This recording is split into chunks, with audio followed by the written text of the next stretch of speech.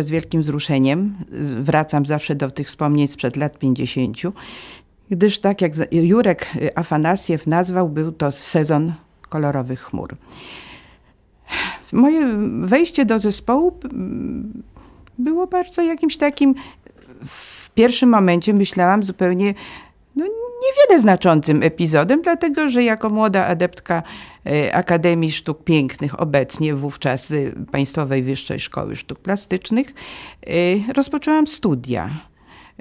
No i wówczas właśnie mm, Wowo Bielicki, Jacek Fedorowicz, nie wiem, może mnie wypatrzyli wśród młodych adeptek sztuki, czy jak. W każdym bądź razie zaproponowali mnie i Eli Chwalibuk przystąpienie do zespołu teatrzyku studenckiego, ponieważ ja zawsze lubiłam w jakiś tam sposób brać udział y, w tego typu y, właściwie zabawie, no to niewiele namyślając się powiedziałam sakramentalne tak, które potem odbiło się naprawdę dużym echem w, w moim życiu, ponieważ był to y, okres pełnego rozkwitu naszej twórczości, nawet można w ten sposób nazwać, ponieważ y, to wszystko, co się działo w zespole, również rzutowało i na nasze życie.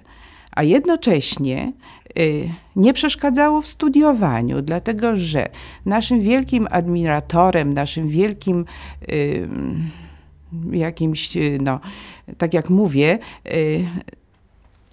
sympatykiem był pan profesor Juliusz Studnicki, i nasz rektor, pan profesor Stanisław Teser, którzy byli właściwie zachwyceni tym, że w ich uczelni jest jakiś taki ferment twórczy, co, co w ogóle sprzyjało wówczas temu rozwojowi naszego ruchu. Myśmy sobie oczywiście wówczas nie zdawali z tego sprawy, że, że to, to, to, to, to przybierze aż taką, aż taką y, kolorową formę ale z próby na próbę, a próby były wspaniałe, dlatego że próby były właściwie jednym wielkim spektaklem.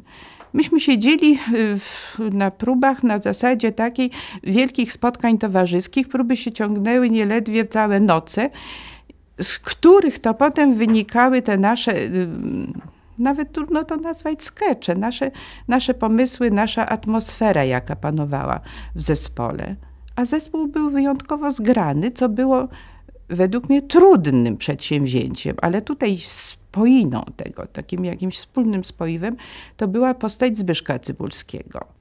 Oczywiście taką centralną postacią, która się pojawiła w naszym y, teatrzyku, był młody, wspaniały aktor y, Zbigniew Cybulski, który został akurat y, zatrudniony w teatrze jako aktor oczywiście zawodowy, ale w pewien sposób oddelegowany do tego naszego ruchu studenckiego. Y, myśmy też nie bardzo sobie zdawali z tego wszystkiego y, sprawę, że przyszedł do nas ktoś, kto, y, kto był absolutnie nietuzinkowy, ktoś, kto miał niewiarygodną wprost osobowość i on potrafił zarazić nas swoim entuzjazmem, swoją jakąś taką szaloną pasją. No i oczywiście, mając tak doskonałych współtowarzyszy, y, y, jak, jak Bogumił Kobiela na przykład, również aktor zawodowy, ale nasi kochani koledzy, którzy byli tak jak Jacek Fedorowicz, Wowo Bielicki, no wymieniam tylko po prostu te dwie osoby, ale y, była naprawdę twórców było wielu. Y, próby nasze, y, tak jak już wspomniałam, były odbiciem tego całego fermentu, jaki się dział na zewnątrz. Co potem było olbrzymim sukcesem, dlatego że nasz teatrzyk właściwie nie miał aktorów zawodowych. Myśmy byli y, totalnymi amatorami i Zbyszek y, Cybulski, przepraszam, że w ten sposób mówię, ale y, on był dla nas zawsze Zbyszkiem. umiał stworzyć coś takiego, co nie wymagało aktorskich umiejętności, gdyż nasz teatr opierał, opierał się właściwie tylko i wyłącznie na pantomimie, na środkach niedopowiedzianych, na, na scenografii, na atmosferze. I to nam właśnie przyniosło ten, ten sukces, który objawił się potem na pierwszym festiwalu, na drugim festiwalu, na konkursach międzyuczelnianych. No i w ten sposób wyskoczyliśmy na ten teatr wiodący. Oczywiście weszłam do, do pierwszego programu, y, który był poprzedzony programem zerowym, ale to wówczas jeszcze, jeszcze był y, y, teatr y, z Politechniki, a ja już weszłam do tego właśnie zero, do tego programu AHA, który był, tak jak już powiedziałam, tym programem takim najbardziej radosnym, najbardziej odkrywczym. Może, może drugi program również, ale to był ten wybuch i to była ta eksplozja tej młodości i tego wszystkiego nowego, co niosło w tym momencie nam życie.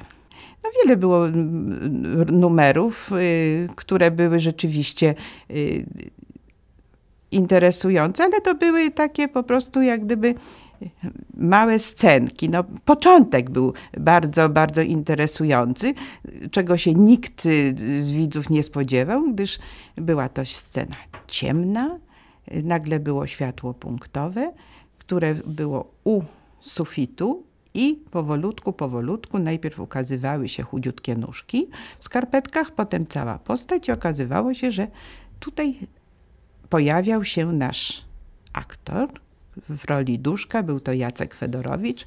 I tak cudownie rozpoczynało się nasze pierwsze przedstawienie. A potem były szare cegły, które potem nagle wybuchały, y, czyli y, z, papier, za papierów wyskakiwał kolorowy tłum y, młodych ludzi tańczących, kolorowych, śpiewających, czyli było to przełamanie w jakiś sposób tego stereotypu. Podaj cegłę. Zebranie dzikich to była właściwie już bardzo taka prosta y, forma, nawet mało metafory, bo wszyscy na widowni odczytywali to dokładnie według tego, cośmy chcieli powiedzieć. Nasze intencje były od pierwszego słowa po prostu jasne. Jakie to były intencje? Jakie intencje? Intencje właśnie ośmieszenia tego wszystkiego, co było do, do tamtej pory wszystkich zebrań, wszystkich y, zebrań zetempowskich, jeszcze innych, gdzie w pewien sposób my, młodzież byliśmy trochę przytłamszeni i y, to była ta nowość, że można inaczej. Y, kiedy jechaliśmy na y, pierwszy ogólnopolski konkurs y, teatrów studenckich do Warszawy, właściwie mieliśmy szaloną tremę, dlatego że już do nas dochodziły głosy tego, co się dzieje w Warszawie. No w Warszawie był ten wspaniały STS ze wszystkimi znaczącymi postaciami, począwszy od wspaniałej tekściary, tak jak się wtedy powiedziało, Agnieszki Osieckiej poprzez Witolda Dąbrowskiego. No w ogóle tam była ta kuźnia tych wszystkich talentów, które potem zostały y, w, w tym y, y, nie tyle środowisku, ile w, w zawodzie, bo oni to, to, to byli właściwie aktorzy. A my jechaliśmy pełni właściwie niepokoju, jak zostaniemy przyjęci z tą naszą taką delikatną metaforą, tym takim niedopowiedzeniem, yy, z taką jakąś iluzyjnością, skrótem myślowym, że trzeba było też i trochę pomyśleć, cośmy chcieli przez to powiedzieć, co było niepowiedziane. W związku z powyższym yy, to nasze pierwsze przedstawienie było taką jakąś ciszą przed burzą, dlatego że w momencie, kiedy przedstawienie się skończyło, była niewiarygodna wprost owacja. Wszyscy przylecieli do nas, zaczęli nas, nas ściskać. Byliśmy po prostu objawieniem. I od tego zaczął się nasz y, korowód sukcesu. Myśmy byli już po prostu wszyscy na, na, na, jako ci wspaniali, ci najlepsi. Wyjazd do Moskwy to, była, to był właściwie happening. Oczywiście wtedyśmy nie używali tego typu określeń, ale wyjazd do Moskwy był poprzedzony również bardzo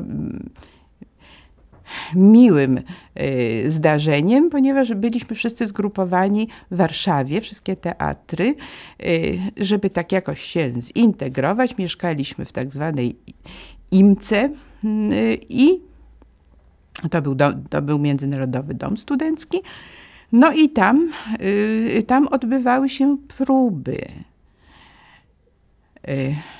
Próby były rzeczywiście bardzo bardzo ciekawe, ale również było i ciekawe życie, y, któreśmy wszyscy wiedli poza teatrem, więc były spotkania ze wspaniałymi aktorami, z, którzy y, przychodzili do nas, odwiedzali nas z Gustawem Cholubkiem, z panem y, Hanuszkiewiczem. No, no wszyscy, właściwie luminarze wszyscy byli razem z nami. No to trochę jakoś również wpłynęło na, w pewien sposób na rozprzężenie y, dyscypliny. No i tak te próby były, tutaj się czekało, a ten jeszcze nie przyszedł, a tutaj, a ta jeszcze y, nie, jest nie, nie tak, coś nie tak, no więc y, nasza rada artystyczna postanowiła, że no, coś trzeba z tym zrobić i należy tą, tą taką trochę gromadę rozbrykaną jakoś zdyscyplinować. No i było, był taki moment, że y, kto się spóźni 15 minut na próbę następnego dnia, w godzinie 9 rano, y, ten do Moskwy nie pojedzie. Koniec. No więc wszyscy okropnie się w tym przejęli. Y, byliśmy wszyscy jak jeden mąż, stawiliśmy się na próbę. No i proszę sobie wyobrazić naszego czołowego pieśniarza Tadeusza Chyły, na którym się rzeczywiście dosyć sporo y, nasz teatr, y, pod, nim właśnie on był taką naszą podporą aktorską. No nie ma Tadeusza. No i jak powiem, no niestety słowo się rzekło, Tadek Chyła do Moskwy nie jedzie no, włosy sobie rwał Zbyszek z głowy, żeby jednak coś zrobić. Nie, nie, nie. No i um, pojechaliśmy do Moskwy bez Tadzia. No jakoś żeśmy sobie tam poradzili, a, a Moskwa wtedy była też bardzo ciekawym przeżyciem. To było, to było nasze pierwsze y, opuszczenie kraju. Y, sama podróż była zabawna, trwająca bardzo, bardzo wiele godzin, gdzie ten mm, wagon zmieniał się z normalnego za dnia w jakąś tam y, kuszetkę, gdzie był cały czas kipiatok Kipiatok to był y, samowar stojący y, tam właśnie w którymś z wagonów, gdzie się chodziło na, na herbatę.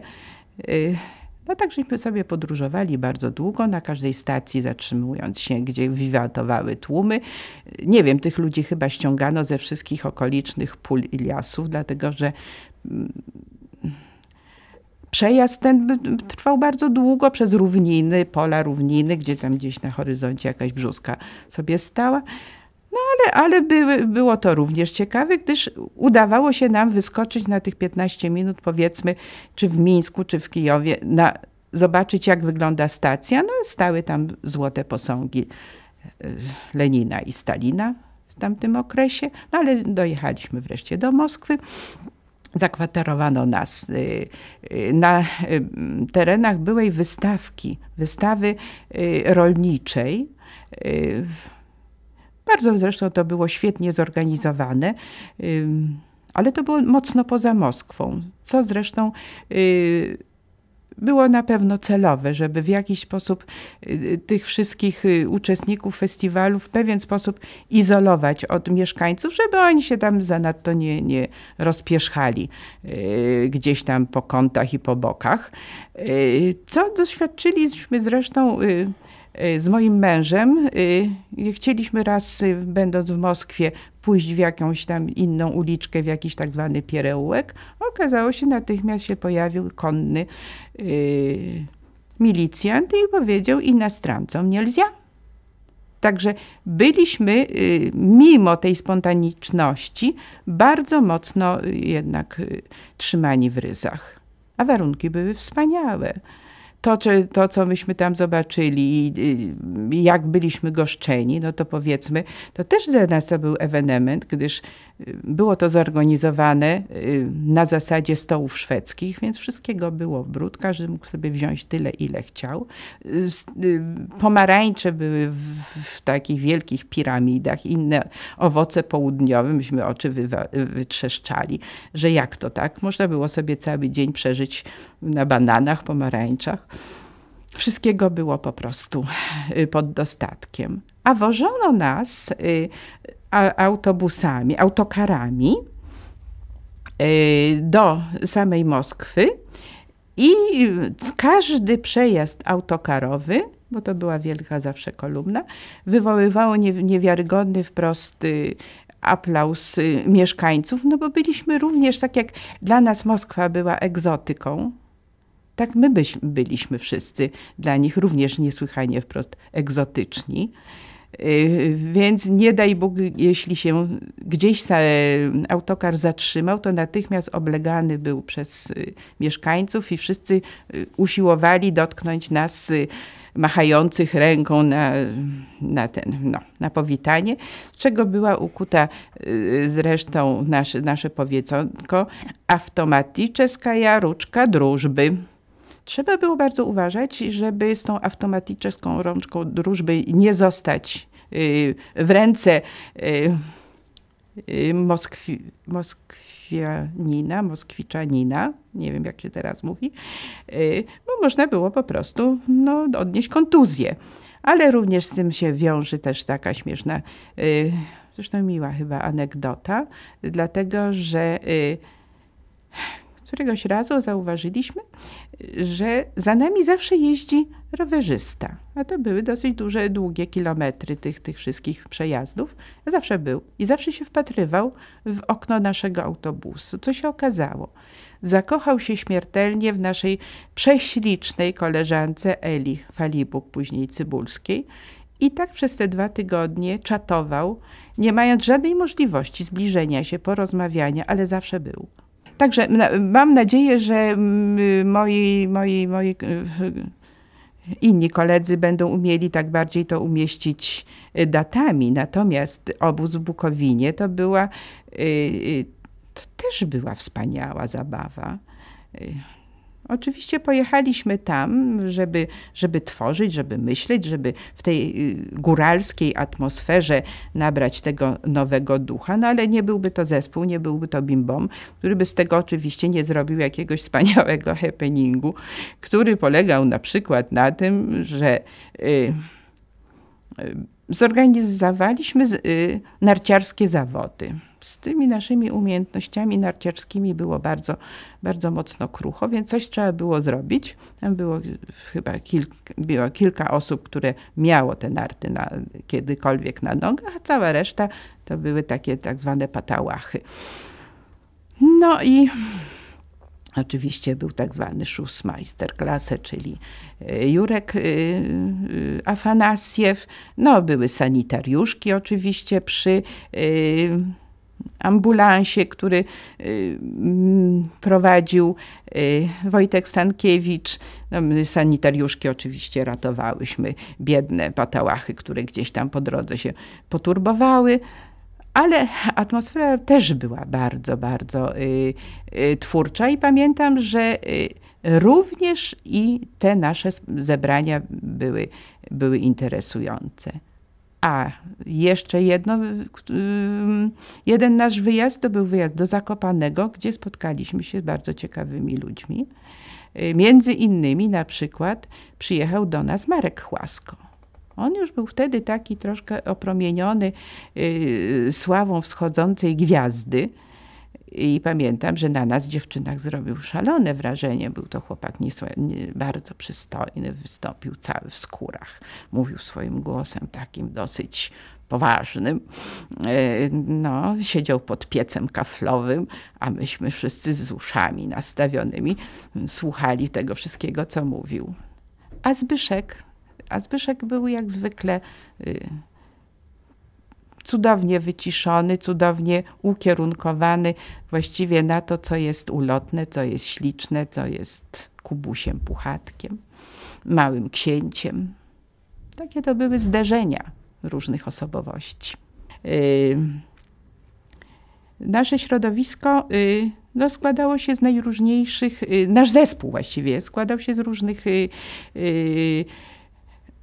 student, ze studentów z różnych uczelni. No więc była to nasza, nasza uczelnia artystyczna, byli również i z Akademii Medycznej ludzie. Przeważała Politechnika, czyli ludzie w takim spojrzeniu mocno racjonalnym na, na to wszystko. I Zbyszek usiłował y, no, troszeczkę poszerzyć wszystkim nam jakieś horyzonty właśnie na, y, na te tematy ulotne. No i między innymi czytał nam Kubusia Puchatka. Początkowo ludzie byli zdziwieni. Co on właściwie czyta? Ale potem jakaś ta atmosfera się udzieliła i może do niektórych, nie wiem, no może krzywdzę, ale dotarło, dlaczego w ogóle się nazywaliśmy teatrzykiem studenckim Bimbom. A przecież to była najpiękniejsza mruczanka, misia puchatka, właśnie z Kubusia Puchatka, którą wymyślił tę nazwę Wowo Bielicki.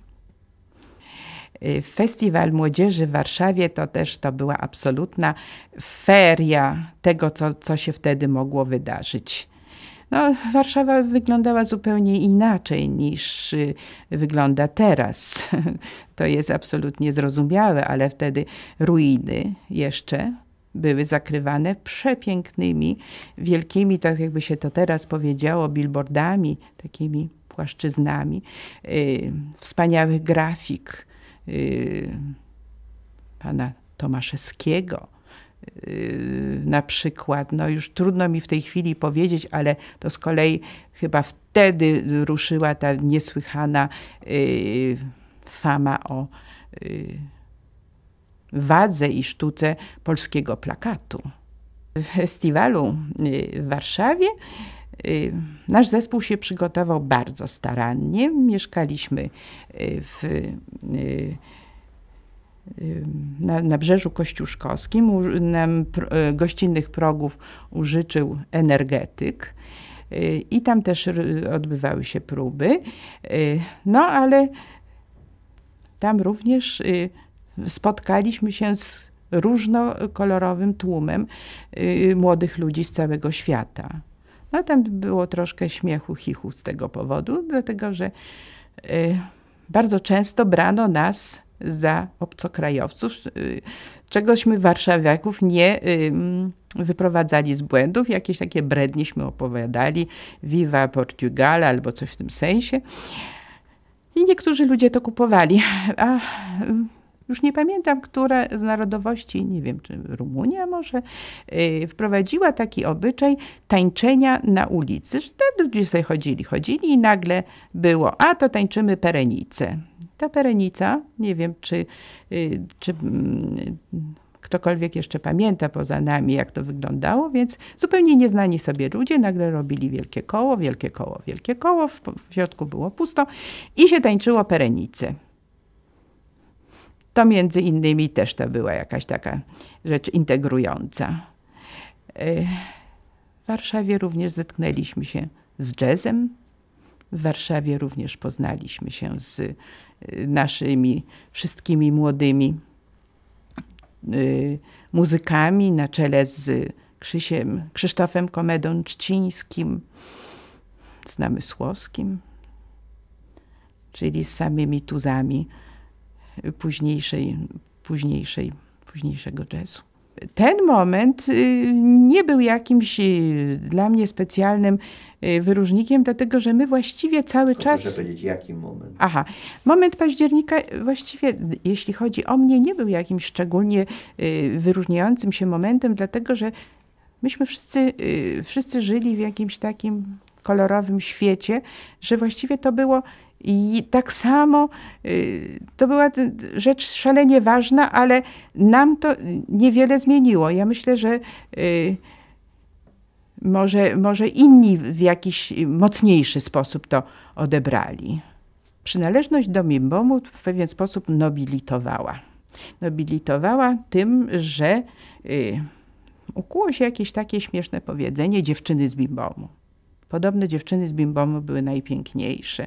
Oczywiście no, wierutna nieprawda, ale to zawsze istnieją jakieś takie lokalne sławy, no ale myśmy, myśmy się czuły y, wyróżnione y, tym, no i oczywiście usiłowałyśmy też i wyglądać jakoś, jakoś tak kolorowo i atrakcyjnie, co w, w tamtych czasach nie było łatwe, dlatego że y, Środki były bardzo trudne. Y, trudno było z jednej strony z powodu tego, że wszyscyśmy byli naprawdę biedni. Jakaś taka była ogólna równość. Nikt nie był jakoś lepiej, więcej, nikt nie miał tego. Y, więc myśmy usiłowały jednak dobrze wyglądać. Naszymi jakimiś takimi wzorcami to były postacie z filmu włoskiego jakieś wówczas te piękne aktorki, Lucia Bose, Brigitte Bardot, no więc usiłowałyśmy również nawiązać do, y, do, tej, do tej mody, do tego trendu, więc latem to było bardzo proste, ponieważ wystarczyło w jakiejś byle podkoszulce ufarbowanej na czarno wyciąć olbrzymi dekolt, ściągnąć się w cienkiej talii jeszcze takim szerokim paskiem, do tego włożyć halka na halkę, która bardzo była olbrzymia, jeszcze włożyć kolorową spódnicę, no i y, tak y, ubrane Właściwie tośmy występowały na wszystkich jakichś takich y, wspólnych wyjazdach. Tak byłyśmy ubrane i jako taki wyróżnik i w Moskwie, w tych kolorowych spódnicach również byłyśmy w Warszawie. A jeszcze z butami był kłopot.